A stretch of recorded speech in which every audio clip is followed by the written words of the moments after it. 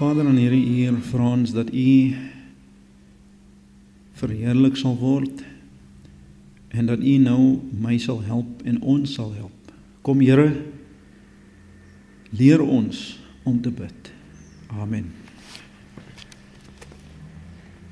My beplanning vir die volgende 3 aande is dat ons vanaand kyk na wat ek in Engels hier het the pre, the praying Christian.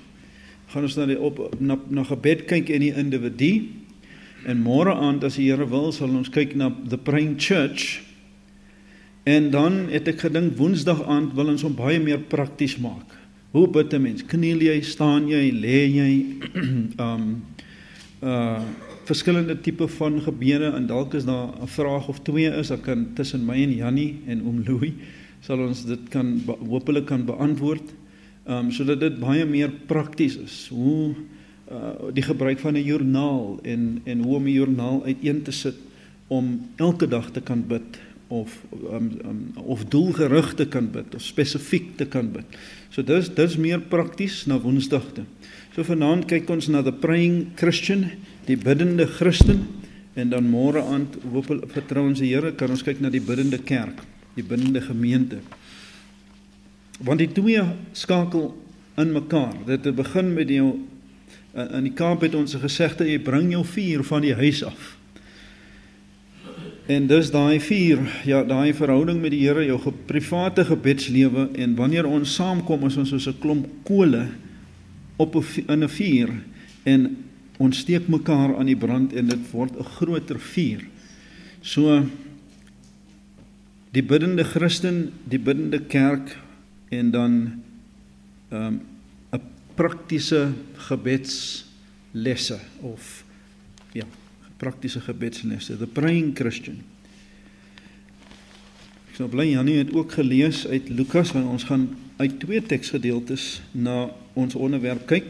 Eerstens kom ons af met ehm um, met Matteus hoofstuk 5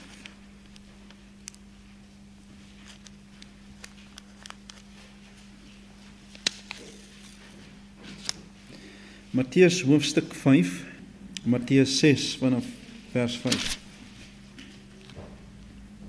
En wanneer jy bid, moet jy nie wees soos die gefeinstes nie, want hulle hou daarvan om in die sinagoges op die hoeke van die strate te staan en bid om deur die mense gesien te word. Voorwaar ek sê vir julle dat hulle hul loon weg het. Maar jy, wanneer jy bid, gaan in jou binnekamer sluit jou deur en bid jou Vader wat in die verborgene is. En jou Vader wat in die verborgene sien, sal jou in die openbaar vergelde. En as jy bid, gebruik nie ydelle herhaling van woorde soos die heidene nie, want hulle dink dat hulle deur hul baie woorde verhoor sal word.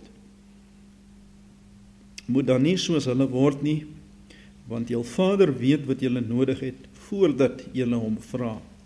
So moet jy dan bid. Onse Vader wat in die hemel is, laat U naam geheilig word. Laat U koninkryk kom. Laat U wil geskied soos in die hemel net so ook op die aarde. Gee ons vandag ons daaglikse brood en vergeef ons ons skulde soos ons ook ons skuldenaars vergewe. En lei ons nie in versoeking nie, maar verlos ons van die bose want aan U behoort die koninkryk en die krag en die heerlikheid en die uh, en die heerlikheid tot in ewigheid. Amen. En dan blaai ons vinnig net na Lukas hoofstuk 11. Nee, ons lees vanaf vers 1. En toe hy op 'n sekere plek besig was om te bid, sê een van sy disippels vir hom nadat hy opgehou het: "Here, leer ons bid." Soos Johannes ook sy disippels geleer het. En hy sê vir hulle wanneer julle bid sê Onse Vader wat in die hemel is, laat U naam geheilig word. Laat U koninkryk kom. Laat U wil geskied soos in die hemel, net so ook op die aarde. Gee ons elke dag ons daaglikse brood en vergeef ons ons sondes, want ons vergewe ook elkeen wat aan ons skuldig is en lei ons nie in versoeking nie, maar verlos ons van die bose. Here seën sy geleesde woord.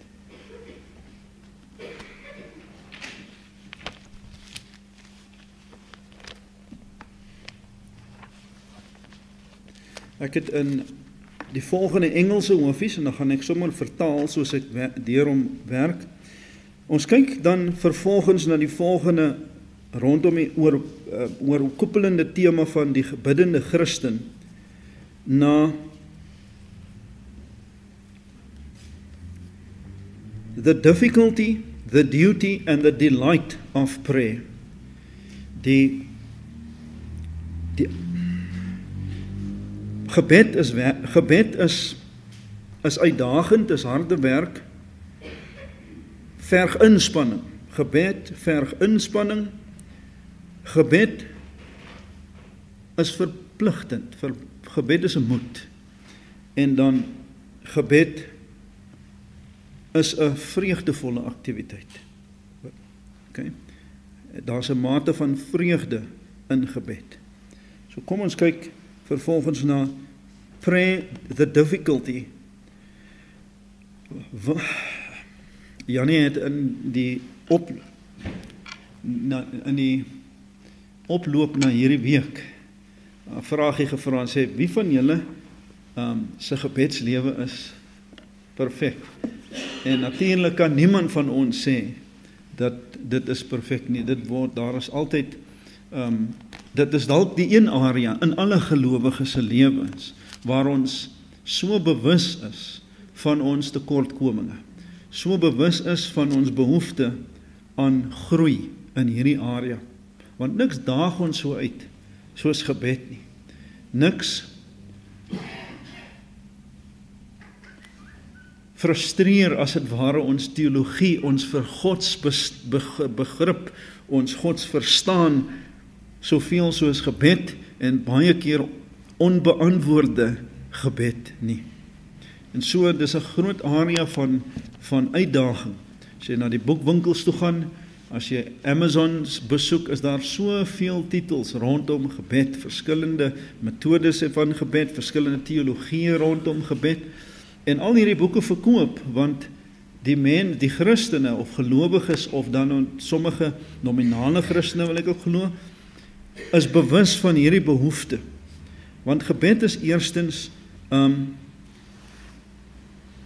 'n uitdagende, dis 'n veel dis dis veel eisend. Dit dit kan veel eisend wees.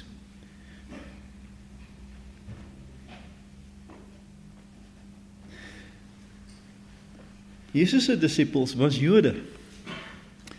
Um en as jy enige iets van die Jode verstaan, dan sal 'n mens uh, dan moet julle weet dat die hele aanbidding van God, die hele tempelaktiwiteite, die besoeke aan die sinagoge en sovoorts is uh, in in al daardie aktiwiteite figureer gebed primêr.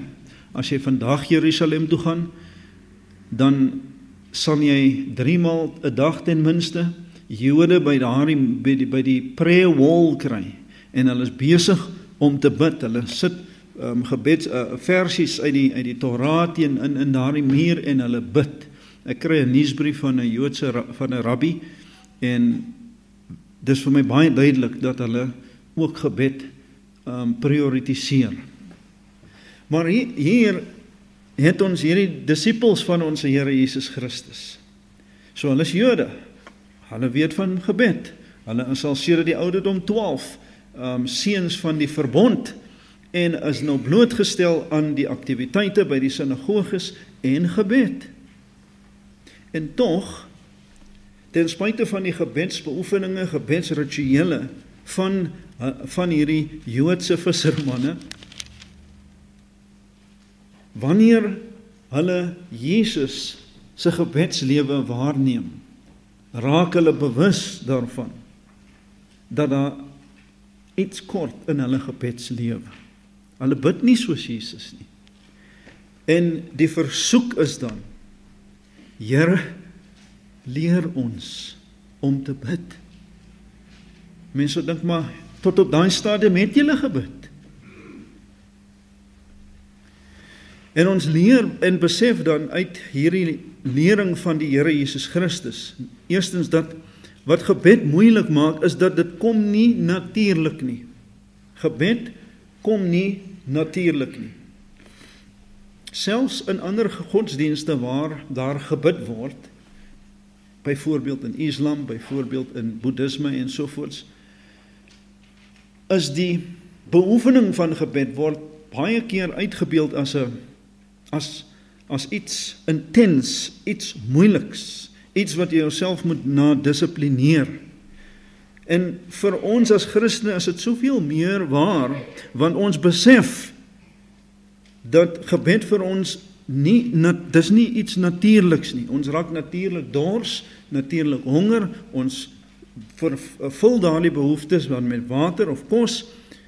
Maar ons wanneer dit kom by gebed, kom dit nie natuurlik nie. Ek was al in die bediening in Kaapstad by verskillende gemeentes. Gemeentes met goeie teologie en gemeentes met teologie wat nodig het om te groei. En wat in beide ontbreek is gebed. Die Sondagoggenddiens, die is altyd is sal vol wees. Nooi ons 'n spreker uit Israel, ons het al 'n spreker gehad, Baruch Maos uit Israel gehad of uit Engeland, verskoon my. Uh uit Amerika is die kerk gepak. Kondig ons 'n biduur aan kan jy die mense baie keer op een hand of op maksimum twee hande tel afhangende van die grootte van die gemeente. So wat is dit? Hoe kan mense wat so lief is vir gesonde leer, ryk en diep teologie hoe kan ons verklaar waarom ons half gebed laer prioritiseer as 'n mens net kyk aan hoe uh, ons ons tyd daaraan toestaan. En ek wil byvoeg ek ek is nie hier soos ons in die Kaap sê om klippe te gooi nie. Ehm uh, maar ehm uh, vertrou dat die Here dan tot elkeen van ons harte spraak. Maar dit is primêr nadat ons tot redding gekom het in die lewe van Christus deur die Heilige Gees is aktief binne in ons is daar nog steeds 'n deel van ons menslike geaardheid wat 'n aversie het vir die dinge van God. Dan is daar wat die Engelse noem indwelling sin wat daarmee gepaard gaan. Wat gebed op sigself moeilik maak. Jy sal tyd maak vir om iemand te bemoedig, jy sal tyd maak vir Bybel lees. Maar die oomblik wanneer jy en ek moet bid, as is ons gedagtes op 'n klomp verskillende neig ons gedagtes om op verskillende plekke te wees. Jy onthou van is die deur gesluit of het ek die kar se sleutels um, uit, uit uit die uit die ignition gehaal ensovoorts. Daar's 'n natuurlike aversie teen dit. Um en dit is wat gebed uitdagend maak. Dit is wat dit vir ons veel eisend kan maak. En ons moet bewus wees daarvan. Die eerste stap is dan om bewus te wees daarvan dat it doesn't come naturally. Dit is mooi gesê in die Engels. En die disippels tweedens wys dit vir ons dat dit is moeilik want hulle die versoek is dat gebed moet geleer word. Nou Elmar sal dalk vir ons sê skool toe gaan is lekker maar hy moet gehelp word soggens of baie kinders. Ek moes wie wie van julle as kinders moes skool toe dit was daar sommige kinders ek het nou van 'n paar gehoor so een of twee wat opgewonde is. Hulle kan nie wag as hulle soggens wakker skrik om skool toe te gaan nie om te gaan leer. Maar die meerderheid kinders nie om nie eens van studente te praat nie. Hulle soek beersgeld en sovoorts om in die universiteit te kom Maar as hulle eers in die universiteit is, moet jy sukkel om hulle by die lesingsale te kry. Want leer, want dit wat geleer moet word, is veel eisend. Dit verg inspanning, dit verg toepas toe toe uh, fokus, toepassing, toewyding. En dit moet geleer word. Ek wil ietsie sê oor teologie en gebed.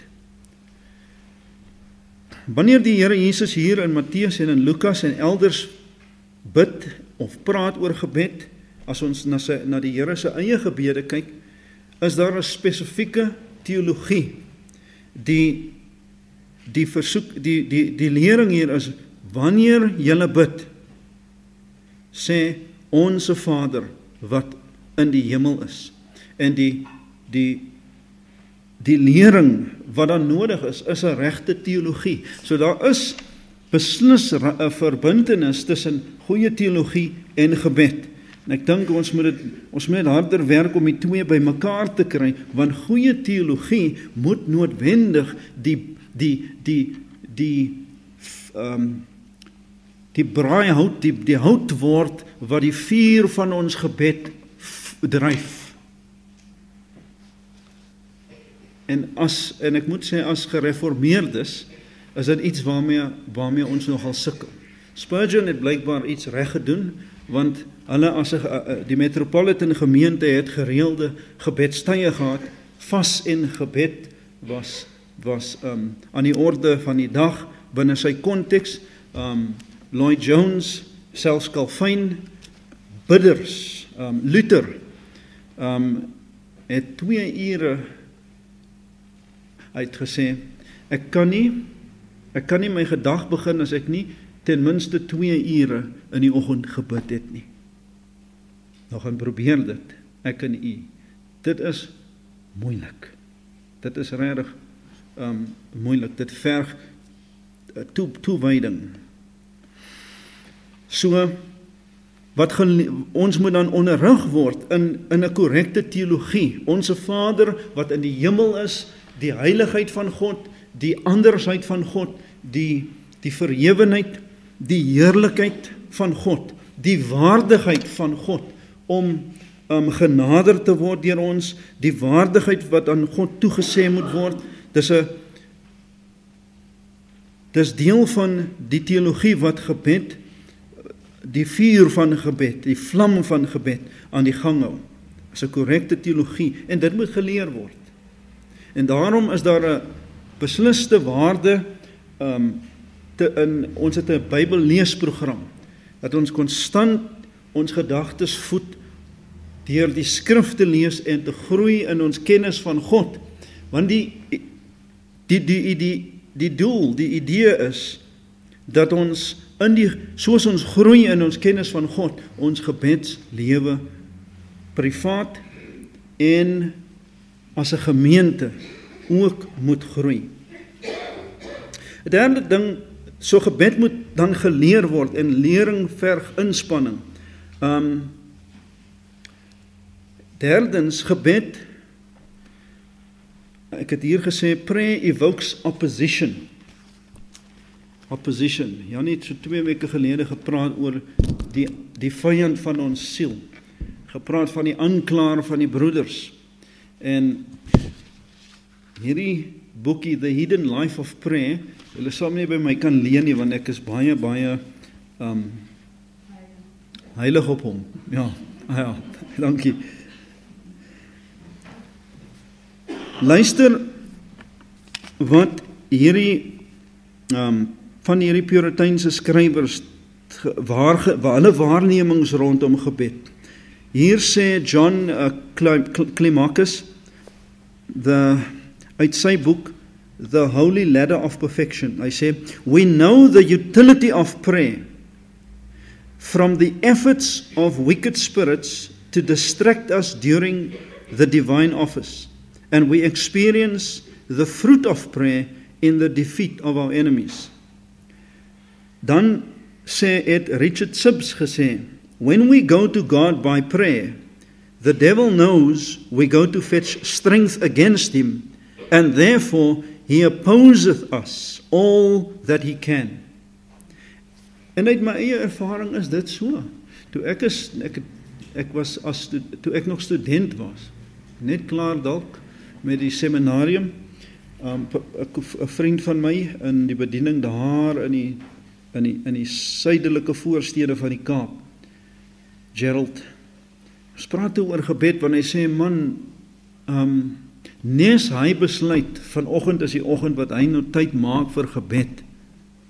dan kom klop mense aan sy deur of mense bel hom of mense kom soek of of me, maar my advies vir hom was dat jy jy moet eenvoudig dan nie op by die huis wees nie. Sit gaan klim in jou kar en ry.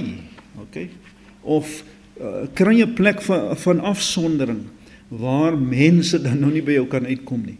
Maar hier sal ek sien julle koppe knik hier dat die oomblik wanneer jy besluit ek gaan bid dan soos die Engelse ook sê all hell breaks loose. Ek luister so nou en dan na die uh, daar's 'n katolieke die katolieke radio en hulle het soms waardevolle goedjies om te sê oor gebed. Maar een van die een 'n sekere uh, monnik het, ge, het het gesê hoe hoe moeilik dit is as jy net wil konsentreer om God te dank. God te dank. Iemand het onderneem om 'n joernaal te hou van elke nuwe barmhartigheid, elke nuwe genade van God elke dag. En hy sê dit was die moeilikste ding om te doen. Daar's dit die teks in die in uh, Ecclesiastes klagliedere sê the steadfast love of the Lord never ceases. His mercies never come to an end. They are new every morning. En op grond van daai teks het hierdie persoon besluit hy gaan nou uitkyk vir hierdie nuwe genade elke dag. En hy gaan 'n aantekening maak daarvan. En dat hy die Here kan dank en loof vir dit elke dag. En daar was niks moeiliker as dit nie, want die oomblik wanneer jy wil begin konsentreer op dit, jy gaan jou gedagtes jou gedagtes dwaal. En ek ek het begrip dan vir die die die die, die um ek het begrip, ek doen dit nie self nie vir uh wat die Katolieke ook gebruik daai rosary dat jy Dis 'n hulp dat jy dit as hulpmiddel gebruik om te konsentreer of te fokus. Maar dit is 'n um, 'n onderwerp vir 'n vir 'n ander tyd. Die die die wat gebed mooi wat gebed uitdagend maak, wat gebed veel eisend kan maak, is dat dit direk die oppos, oppositie uitlok. En ons moet daarvan bewus wees. En wanneer dit dan by praktiese ehm um, reëlings kom vir gebed, dan is dit dan dat ons bewus sal wees hiervan en ons so so ver as wat dit moontlik is vir ons in 'n posisie plaas van jouself en myself in 'n posisie plaas waar ek dan nie gesteer kan word nie waar daar nie distract um um of um distractions afwykings afleidings afleidings is nie. Um so sit so die televisie moet afgesit word. Um jy en die kinders moet gesê word pappa bid nou of mamma bid nou. Um ek het gelees van 'n van 'n was dit Beth Beth Moore. Nou sy 'n klomp klein kinders. En wanneer het sy stilte tyd? Sy toe dit ja, hulle is soos orrelpypies. So ek kan nie die een jy kan hulle nie los nie. Maar sy het hulle geleer dat as sy haar voorskot oor haar kop gegooi het soggens en sy sit daar op die bank met die kinders om haar she speaking to God. En oor tyd het die kinders geleer dat mom is now speaking to God want die voorskot is oor haar kop, so sy bid nou in daai konteks met met sonder om haar om haar kinders te vernalatig. Ek wonder net soms hoe mevrou Wesley dit reg gekry het, want ek dink daar was 15 of 18 kinders, nê. Nee. Maar sy het tyd gemaak elke dag vir elke kind vir gebed en godsdienstonderrig. So dit is doenbaar as ons bewus is van ons geneigtheid, ons die um, die die geneigtheid, die the presence of indwelling sin wat ons neig weg van die dinge van God, weg van die Bybel lees, weg van gebed. As ons bewus daarvan is dat dit gaan toewyding verg, want gebed moet vir ons ons moet ge, ons moet leer om te bid. En dit is dan 'n goeie praktyk om goeie om jouself weer eens te rus met goeie boeke rondom gebed. Ek vind die van die Puriteine dis dis soms uitdagende leeswerk, leesstof, maar dis dit kan dis baie stigtend. Um om hulle te lees en goeie boeke oor gebed. Dit's goeie skrywers um en vra maar vir Jannie en die res van die ouderlinge hier wat beveel hulle aan om jou te help want ek vind as ek 'n boek lees oor gebed dan dan motiveer dit my om te bid of as ek 'n biografie lees, um, dat dit my ook motiveer om te bid. En ek het nou die afgelope tyd 'n paar DVD's gekyk, die afgelope 3 paar 3 aande. En ehm um, fireproof uh courageous en daai goed. En as ek my weer kom kry, dan neig dit my tot gebed. Sak langs die langs die bed af en begin bid. So jy jy moet leer om jouself te omring met motiveerders vir gebed. Die disippels natuurlik was so geseënd want hier is die Here Jesus Christus en hy hy hy was die hy hy het dit gedemonstreer vir hulle. Dis waarom kerk toe kom ook belangrik is. Dat hier jy jouself ehm um, want ons leer konstant jy sal hoor hoe die kinders ons gebede memoriseer as ons dankie sê vir die geld of of vir die offerandes of iets en waar kinders bid dan bid hulle soos hulle ons hoor bid. Maar uiteindelik dis dis training wheels. Ek sê dis die training wheels van gebed. Uiteindelik hulle moet eers begin maar uiteindelik op 'n stadium haal ons die training wheels af en dan bid hulle spontaan en hulle uit vanuit 'n hulle besonderse en unieke verhouding met God. So, the difficulty of prayer het ons nou um uitgelig. Ons kyk nou na die die verpligting van gebed, the duty of prayer. En dit is baie eenvoudig in die woorde van die Here Jesus Christus. Jesus sê nie as jy bid nie. Hy sê wanneer jy bid. Ons Here Jesus sê vir ons dat sy disippels bid. Dis nie as die kerk 'n biduur het nie.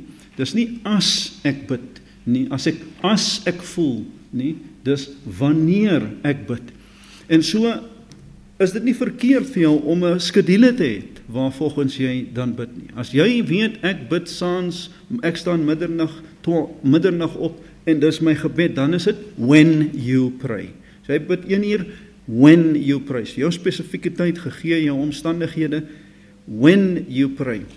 So die Bybel wys ons die Here Jesus Christus in sy eie voorbeeld dat hy konstant gebid het. Daar's eintlik nie ek ek ek gaan dit nie meer beklemtoon nie want ek dink julle weet dit. Die uitdaging is het jy 'n tyd vir gebed? Ek het nou 'n vriend Hy's 'n PhD student van my, maar ons het vriende geword. Hy's in Zimbabwe, hy's 'n Zimbabweër. En treffens in sy huis. Hy het een kamer, een vertrek, een slaapkamer is die gebedskamer. En ek het die voorreg gehad om saam met hom en sy familie in daai gebedskamer te gaan. Dis net 'n mat en uh jy staan of sit of kniel of lê en ons bid. En die kinders is saam en die vrou is saam en die bediende is saam en almal bid. En ek besef, "Sjoe, ons het braaikamers. Ons het TV-kamers. Ons bou ons voorsien al hierdie goed in ons huise. Wat van 'n gebedskamer? Wat van 'n tyd 'n 'n spesifieke ruimte waar die kinders gaan sien, pa en ma gaan daarin. En en dit was dit was ehm um, stigtend maar ook uitdagend om om om dit te sien, om dit waar te neem. Um, en soos ek sê, almal bid. As jy ooit uh, in uh, uh, het ek 'n voorbeeld in in Zambië. In Zambië gaan ek preek by 'n Pinksterkerk en dis gebedstyd. En almal bid in daai kerk. Die klein kinders, die sonnaskoolkinders, die almal, almal as jy daar instap, dan is dit net so 'n buzz. Ek het ook ervaar hier by die AGS hier by Rinus hulle. Ek het hulle het ook 'n gebedskamer um wat apart is van die kerkgebou en net voor ek daar gaan preek het, het ek toe daar gaan sit. En ek het besef, hm, ek is anders gekondisioneer oor die jare want want uh, my ore is nie gewonde aan om uh, ek is nie gewonde aan om te bid terwyl iemand langs my ook hard bid nie. Maar ek dink oor tyd binne binne die konteks kan 'n mens hierdie gewoond raak in in die meeste baptiste kerke in die Kaap bid ons soos ons maar hier bid ons vorm as ons 'n sirkel vorm bid elkeen en wanneer ons ons redeneer ons moet amen sê maar ek dink tog daar's ruimte vir vir saambid waar dit net 'n 'n 'n 'n weergalm is van van stemme wat wat wat wat die Here aanroep. Um En dis nie so ek sê wat ons doen is nie verkeerd nie, maar wat hulle doen en hoe hulle dit doen is ook nie verkeerd nie. Um, dis dit was my ervaring. So wanneer jy bid. Ek nou in Zimbabwe was, het die studente een keer 'n maand 'n night, hulle bid deur die nag. Toe ek op seminarium was, was ek bevriend geraak met Koreane. En een keer 'n maand het hulle uit uit Athlone uit gery hier na ehm um, daar was 'n dam. Ja. Daai dam is nou baie leeg in die Kaap. Maar is wem nie wemmers ook nie, maar sê weer Teewaterskloof genoem, maar anyway daar's daar's bungalows en hulle het 'n bang hulle het bungalows bespreek en hulle bid dan deur die nag. En hulle hulle bid in skofte. So hulle bid daai skof en dan gaan die anders eet en dan kom hulle weer, dan kom die res terug en dan bid hulle en so bid hulle dwars deur die nag. So Saterdagoggend as hulle huis toe kom, kan jy sien die mense het nie geslaap nie. Maar die Suid-Koreane veral en die kerk in Suid-Korea is bekend daarvoor vir gebed. Hulle het 'n hele uh, hulle het wat hulle noem prayer mountain en dis 'n toegewyde area waar jy waar die hele wel ek wil ek oordryf as ek sê die hele Suid-Korea, maar die gelowiges, baie gelowiges in Suid-Korea, soggens voor werk, 4 uur, 5 uur in die oggend, gaan hulle prayer mountain toe and it's when we pray. When we pray. So Hier het ons by Parys Baptiste het ons gebedsgeleenthede as gemeente en ons het ons when we pray in plek. Ons moet nou net kom na die plek van gebed toe om dan spesifiek te bid. So die Here Jesus Christus eh, eh, het het dit as van selfsprekend aanvaar en geleer dat gebed is deel van Christen wees. Jy kan nie 'n gelowige wees en nie bid nie of op jou eie of as 'n of in gesamentlik. Maar dan wil ek die volgende derde punt sê aanraak die die vreugde van gebed. En die vreugde van gebed. So ja, dit is dis werk, dit dit dit is veel eisend, maar daar is ook vreugde daarin. Dis soos lekker werk. En Trevor is 'n man wat met sy hande werk, maar dit gee hom dit is veel eisend en hy sal seker sweet as hy daar die goed masjinerie regmaak wat hy doen, maar aan die einde van die dag is dit is dan ook 'n vreugde wat jy daaruit put. En vir die Christen, wanneer dit kom by gebed, is dit die geleentheid om gemeenskap met die Vader te hê. Daarin lê die vreugde. When you pray, "O Father," wanneer ons bid, kom ons na ons hemelse Vader toe. En daarin lê die vreugde wanneer Elmar sy pa sien of sy pa was weg vir die dag of wat ook al en hy sien hom weer en hy kom na pappa toe. Dis 'n vreugdevolle oomblik. Dis ehm um, ja. Anders as met die met die met die uh, uh pagan religions, heidense gelowe in die tyd van ons Here en en daarna in die Romeine anders as dit want want dit was gekenmerk onder andere deur vrees om die gode te nader. Right? Want gaan Zeus nou kwaad wees vandag vir jou, gaan hy jou nou zap met 'n weerligstraal. Dit dit is die pagans. Die geloof, die Christen nie. Ons kom met vrymoedigheid en ons kom na 'n verhouding ons kom binne 'n verhouding na 'n verhouding toe.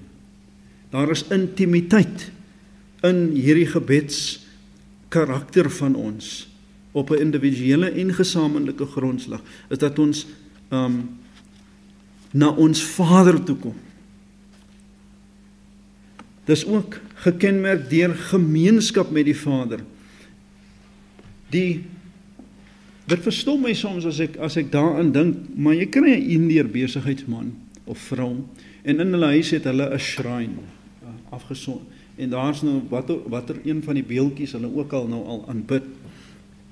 Um mense wil amper sê die nie die onsekerheid nie, maar dat jy na 'n klip toe bid of 'n boom of 'n muur of iets en daar's nie respons nie. Ek bedoel julle sal dink iets is baie verkeerd met my as ek heeldag met met hierdie bos, hierdie ryker staan en gesels. Maar daar is mense in die wêreld wat dit doen en dit toegewyd doen. En dan is daar gelowiges wat na die lewende God um nie genoeg nader en uitreik nie. Ons laat ons te maklik uh, van stryk bring, maar ons kom na een wat wag om ons te sien, wat ons wil sien, wat die impuls deur sy Heilige Gees in ons sit om ons om hom om ons na hom te bring in om, om ons na hom te trek, aan te trek in gebed. En soms wat ons deur tye van beproewing laat gaan om ons juis na hom te bring. On dit is tragies maar ongelukkig ook waar dat dit dit soms die enigste manier is hoe die Here 'n persoon se gebedslewe kickstart. Hy hy laat toe dat iets gaan fout met die besigheid, my gesondheid, in die familie, met 'n kind ensovoorts. En dis op in in, die Kaap het ek dit gesien. Dan sien jy mense in die bidtier wat nie anders andersins bidtier toe kom nie. En as hulle met hulle met hulle saam bid, dan is daar 'n pyn of 'n uitdaging of trauma of en dis dan hoe die Here in sy wysheid en almag ons kry om te bid. U het alself gelees, u het dit ervaar, nê? Nee, u het of u daarvan gelees of u het by iemand anders gehoor wat terugkyk na 'n traumatiese tyd in hulle lewe en sê, "Sjoe, maar die Here het my my my gebedslewe verander toe." of my Bybel lees toe of my kerk betrokkenheid het verander. As ek terugkyk, was dit waar dit verander het. En dis die patroon dwars deur die Bybel. Israel raak afvallig van die Here af. Die Here laat verdrukking toe, swaar kry. Wat doen hulle? Hulle roep die Here aan. Dis altyd dis daai patroon. En soms is trauma in ons lewens, in ons huisgesinne, in ons finansies, in ons huwelike, God se roepstem tot ons om na hom te kom. C.S. Spurgeon, C.S. Lewis het gesê, um God whispers in our joys, but he shouts in our pain. He whispers in our joys. Die bankbalans is goed. Die Land Rover hardloop. Die die kinders is vorder mooi op skool, besigheid floreer. Dan neig ons om bietjie koel cool te raak. Maar wanneer ons deur trauma gaan, is dit die Here wat volgens Loos se beskrywing wat skree tot ons, kom na my toe. Roep my aan. Hy is 'n God wat gebed antwoord. Hy's 'n hy hy hy het bepaal dat gebed die metode is waar ehm um, waar volgens ons tot hom kan nader. Dit is ehm um, sy wil dat ons tot hom nader. Hy hy hy hy as 'n God wat ons gemeenskap met ons ehm um, uh motiveer in ons sodat ons dan in gebed tot hom ehm um, tot hom nader. Nie altyd net om te vra nie, maar om hom net te loof, om hom om sy om sy heiligheid te besing, om om die koms van sy koninkryk um, te af te wag. Ek sê ek sê met vir my ma, Daar is so dis vir my so opvallend dat die ou Pinksterliedjies in die Kaap. Daar's 'n hele paar van daai Pinksterliedjies wat op die hemel fokus, op die wederkoms van die Here Jesus Christus. Nou ek verstaan dis herhalend, ek verstaan dit. Maar dis waarhede.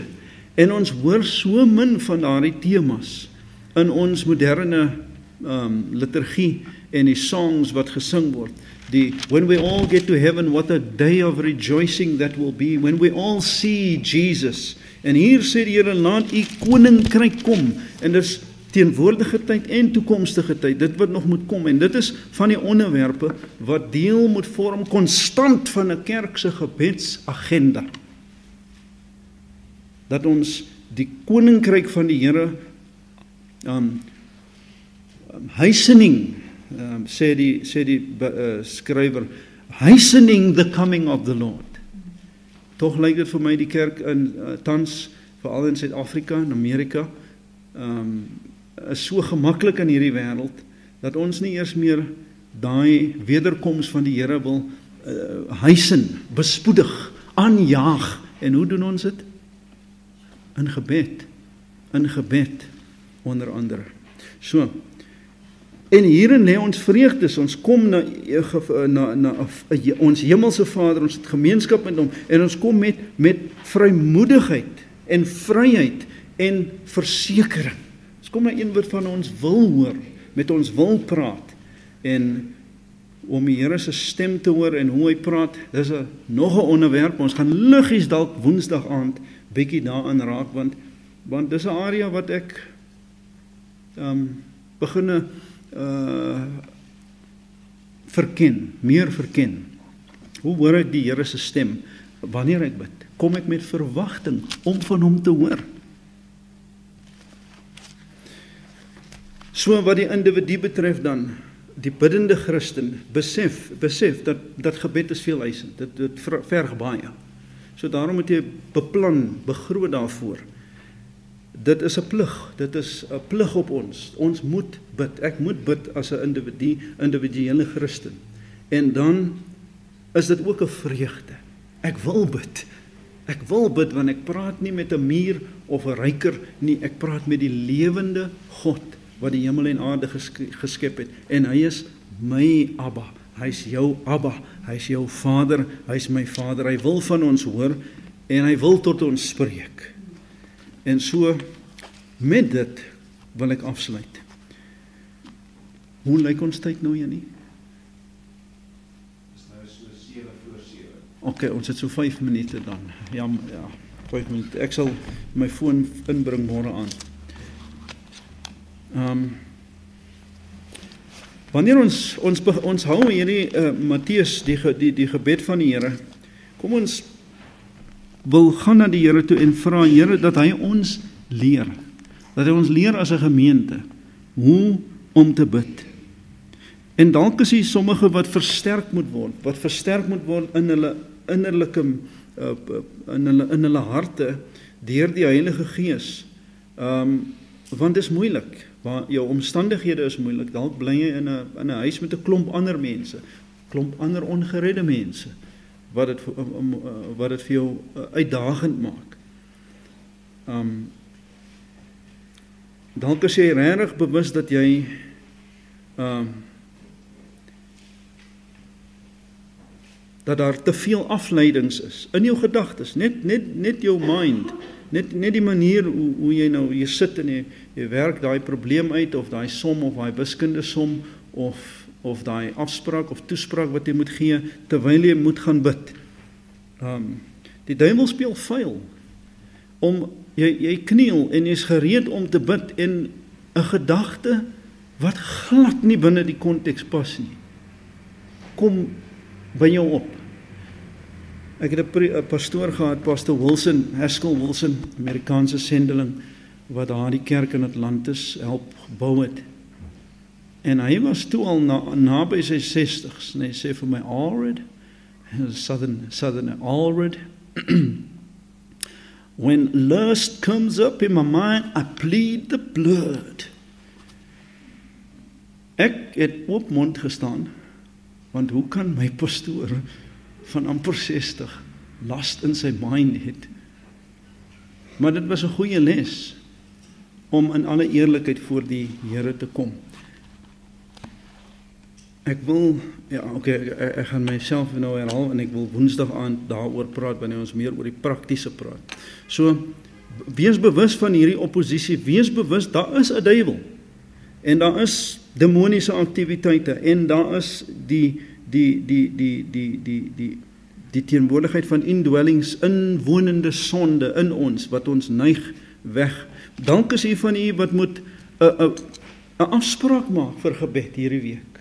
Nie net nou nie, maar van vanaand af, môre te sê môre voor ek tee drink of ek weet nie wat die omstandighede is nie om dat ek ook in 'n tyd het wanneer ek bid. En my maat moet dit weet, my kinders moet dit weet dat hulle my nie op daardie tye um onnodiglik steur nie. En dan vreugde, dalk is hier van u wat u vreugde in God die Vader in die in in in in God verloor of dis bietjie gedemp dalk deur omstandighede, deur moeilike beproewinge, deur wroging en die vreugde van wat aan gebed gekoppel word. Die my indruk is dat die Here Jesus baie vreugde uit gebed geput het. Dat hy um dit het hom amper half energie gegee lyk dit my om net met die Vader te wil wees. Uh en dat ons dan vra dat sy voorbeeld deur die Heilige Gees ook in ons gestimuleer mag word.